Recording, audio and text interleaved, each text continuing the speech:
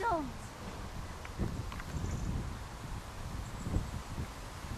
Stony lump in my breast.